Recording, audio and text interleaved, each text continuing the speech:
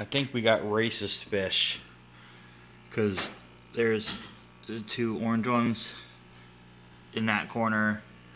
And then hiding in the corner over here are the two black ones. And then you got, you got the mixed one right here hiding. They're all racist, hiding in their own little ghettos.